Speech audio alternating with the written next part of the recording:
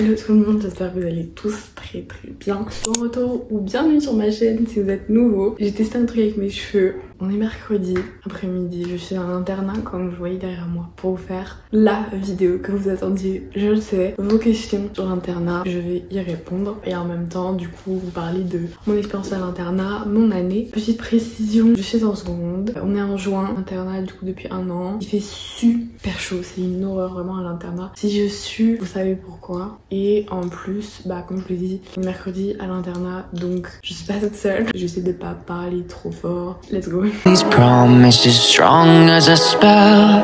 I'll never tell. Yeah, I like you, that's for sure. Never have to close the door. Been a long time, a year before. And I'm missing you so bad. Gone away a month or more. Every show I go before. Need to hear that voice. Alors j'ai noté toutes vos questions que vous m'aviez posées sur mon Insta, Zakarla qui s'affiche juste ici. Je les ai classées en trois grandes parties. En premier, le principe de l'internat. Ensuite, la vie en communauté. Et la fin de l'internat. Si vous avez vu ma dernière vidéo... Attends, je suis pas très claire dans mon planning de vidéo là. Ma dernière vidéo du coup sur mon année de seconde, etc. Donc tout ce qui est plus lycée. Je vous conseille d'aller la voir parce que du coup ici je parlerai que de l'internat. Vous savez que je ne reste pas ici l'année prochaine et que du coup je ne vais plus à l'internat non plus donc c'est un peu la fin. On va attaquer la première partie. Est-ce que c'est un choix qui vient de toi ou de tes parents? Je vous l'ai expliqué du coup dans ma dernière vidéo. J'ai choisi mon lycée un peu par, euh, pas par dépit, mais en fait de base je pensais aller dans un lycée, sauf que j'ai pas réussi euh, les examens. Donc du coup j'ai dû trouver un lycée qui me conviendrait. Et du coup il y a eu des petits cafouillages etc. Et du coup je croyais que dans le lycée où je suis actuellement il y avait une spé cinéma, ce n'est pas le cas. C'est pour ça que je pars l'année prochaine dans un lycée qui offre une spé cinéma parce que si je reste ici, je sais pas quelle troisième spé je prendrais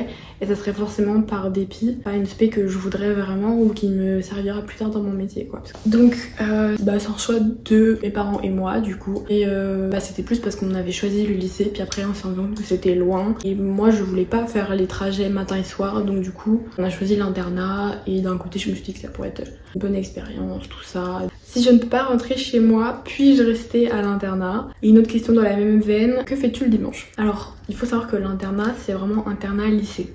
Ça dépend des internats, mais la plupart, en fait, à part si vous êtes dans un grand lycée, la plupart des internats ferment. Dans mon lycée, ça ouvrait le lundi soir et ça fermait le vendredi matin. Tu peux pas rentrer chez toi, est-ce que tu peux rester à l'internat? Ça dépend ce que tu veux dire par là. Les week-ends, non, clairement pas, c'est fermé. Et euh, qu'est-ce que je fais le dimanche? Bah, je ne suis pas dans l'internat, du coup, je suis chez moi. En transition, question suivante, tu mets quoi dans ta valise? Le dimanche, je fais ma valise. Je vous ai fait une vidéo euh, sur euh, comment faire sa valise, etc. qui est incrustée dans un vlog. Normalement, je vous ai mis les chapitrages, donc vous avez juste à cliquer. Après, je sais qu'il y a des youtubeurs et youtubeuses qui ont fait des vidéos complètement dédiées à quoi mettre dans sa valise. Voilà, on n'est pas forcément neuneux, on sait à peu près ce qu'il faut. Les horaires sont pas trop durs à respecter. C'est quand les permes Vous mangez vers quelle heure Quels sont les horaires pour accéder aux chambres Est-ce qu'on peut y aller tout le temps?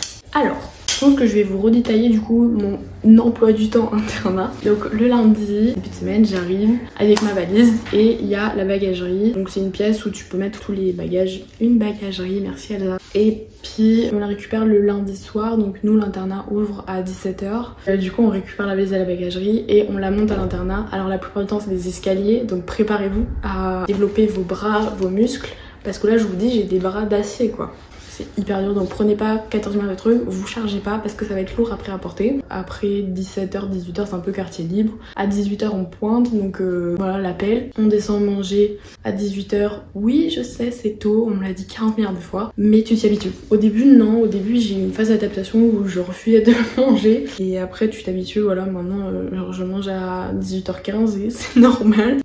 Et après, nous, on avait l'heure de perme de 19h45 jusqu'à 21h15. Donc de 19h à 19h45, t'as quartier libre. Et de 21h15 à 22h, t'as quartier libre. Et 22h, c'est extraction des feux. Voilà, je pense que j'ai répondu à toutes les questions en même temps.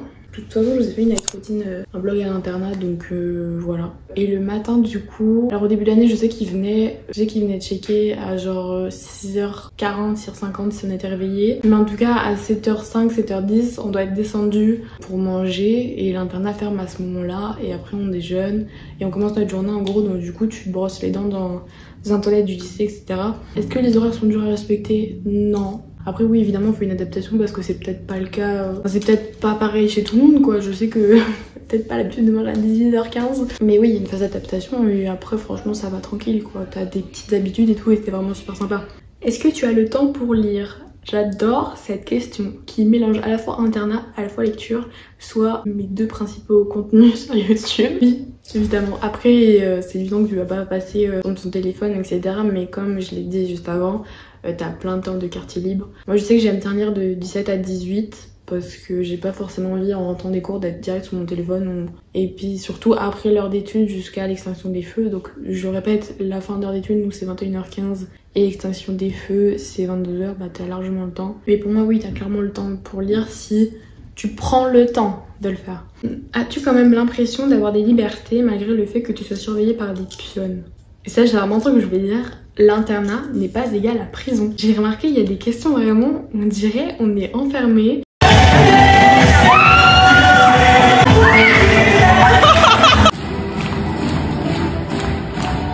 Il y avait des gens qui...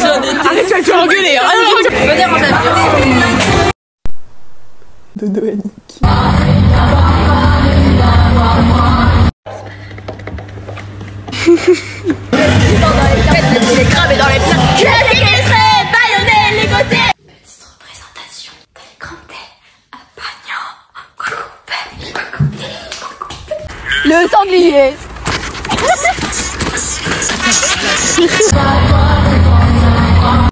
évidemment, on est encadré et tout pour notre sécurité et tout ça, puis même pour nous créer un rythme plus tard. Mais euh, pas la prison, hein, ça va. Je sais que euh, vraiment le seul drama qu'il y a eu dans notre internat depuis le début de l'année, c'est un mec qui a fumé dans sa chambre et du coup, euh, bah, il a été expulsé. C'est notre internat, nous, qui est strict là-dessus, mais je trouve ça normal pour le coup. Mais euh, oui, enfin, je, je suis pas en prison, ça va, je me porte bien. Euh, ça te manque pas de sortir? Est-ce que tu arrives à sortir de l'internat si tu as des activités en dehors? Alors, est-ce que ça me manque de sortir?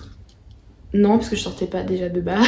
donc non. Puis même, euh, j'habite un peu euh, dans un trou paumé où il y a pas grand chose, donc euh, je sortais pas déjà de base. Après, si je me mets à la place de quelqu'un qui sort souvent, ouais, ça peut être compliqué. En fait, faut juste que tu fasses un mot 24 ou 48 avant ton absence. Et tu peux clairement genre passer la nuit euh, en plein milieu de la semaine, passer la nuit ailleurs et tout. Faut juste que tu préviennes en avance par mail. Ça dépend des lycées, mais voilà.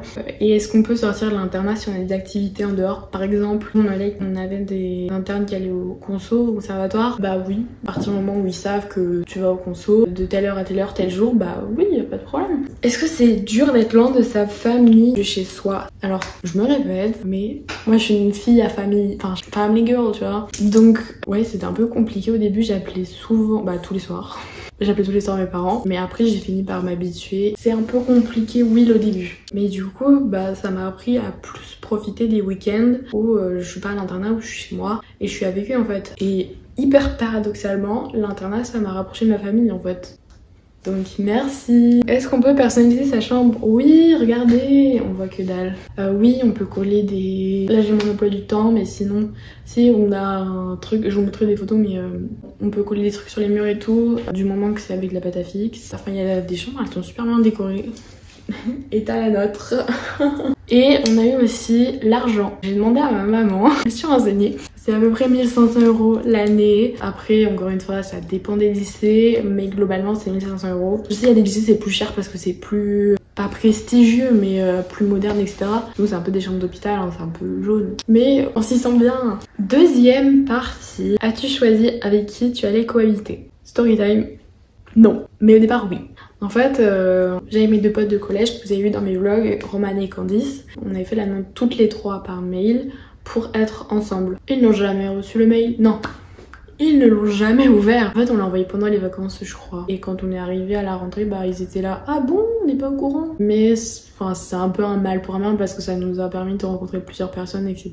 Et de pas rester toutes les trois comme ça, comme on était au collège, on, s'est ouvert aux autres, quoi. Je sais que moi, je l'ai ah, hyper mal vécu parce que bah, ça m'a rassuré en fait d'être avec deux personnes que je connaissais de base. Et du coup, là, à la rentrée, c'était pas du tout le cas. J'étais avec deux inconnus. Pour moi, tu peux faire la demande du moment que tu le fais assez en avance. Je crois que la vidéo que vous voyez là, elle sort euh, mi-juin. Bah, faites-le à ce moment-là. Je pense que ça peut être pas mal. Parce qu'après, il y a toutes les épreuves du bac, etc. Donc peut-être que... J'espère pour vous que vous pourrez choisir, etc. Mais euh... Et après, si t'es pas à l'aise dans ta chambre ou euh, tu peux toujours faire la demande auprès des CPE. C'est ce qui m'est arrivé. Au début, je vous ai dit, j'étais pas avec des personnes que avec lesquelles je voulais être de base. Et du coup, bah maintenant, voilà, je suis dans cette chambre. Avec une fille, du coup, qui est partie. Et Candice, ma pote de collège, que je connais depuis des années. Est-ce que c'est dur de partager sa chambre avec une inconnue au début? Du coup, bah j'ai passé une seule nuit avec des inconnus. Faut que j'arrête avec ça. Donc, je suis pas la personne la mieux placée. Mais en vrai, dites-vous, on est un peu dans le même bateau. Ouais, on vit tous la même chose. Donc, franchement, euh, faut pas s'imaginer que... Voilà ma pensée du jour. Est-ce que c'est compliqué de travailler avec tes potes dans la même chambre? Si vous êtes tous les deux studieux et que vous vous y mettez tous les deux, il y un moment où on travaille, un moment où on rigole, euh, ça fait vraiment daronne, mais d'un côté c'est vrai, euh, ça va. Est-ce que des fois c'est pénible de ne pas être seul dans sa chambre? Et j'avais une autre question à peu près, d'avoir toujours des personnes autour de soi. Est-ce que c'est pénible de pas être seul dans sa chambre Après quand t'es à l'internat, pour moi t'as conscience du fait que bah, tu vas pas être toute seule, donc euh, t'es ok avec ça en fait d'un côté. Enfin, c'est pas une menace que je fais ou une reproche ou pas, mais euh, quand tu vas à l'internat et après tu te plains de pas être tout seul dans ta chambre, bah c'est un peu le but de l'internat. Euh, mais après, moi, la première, hein, moi, je, être trop entourée, etc., je peux pas. Des fois, à l'internat, quand t'es juste avec, bah du coup, j'étais juste avec Candice, donc une seule pote, bah franchement, ça va. comment vous êtes, comment vous êtes répartis par chambre? On est répartis aléatoirement, mais après, comme dit, on peut demander à changer, etc. Et on est combien? Dans mon internat, on est deux ou trois. Euh, nous, on était trois de base, mais euh, la fille qui est avec nous, elle est partie au milieu d'année. Comment as-tu fait pour te faire des amis? C'est comme au lycée. En fait, mes amis, c'était des amis d'amis. On a rapidement créé notre groupe de potes que vous avez vu dans tous mes vlogs à l'internat. Troisième partie, dernière partie, la fin de l'internat. Est-ce que tu referas des vlogs à l'internat Comptes-tu rester l'année pro? Non, je ne referai pas de vlogs à l'internat puisque l'année prochaine, je ne vais pas à l'internat. Et du coup, bah non, je compte pas y rester l'année prochaine. Est-ce qu'on peut y aller un an et après partir? Oui, c'est ce que je vais faire. On peut même y aller un trimestre et après partir. Eh bien écoutez, j'espère que cette vidéo vous a plu. J'ai pu répondre à toutes vos questions. N'oubliez pas de commenter. Si vous avez des questions, je vous réponds en commentaire ou même sur mon Insta. Je réponds tout le temps en DM si vous avez des questions, si vous avez des angoisses ou quoi. Je suis là pour vous rassurer. Moi, je vous dis à la semaine prochaine, dimanche prochain 14h pour une prochaine vidéo.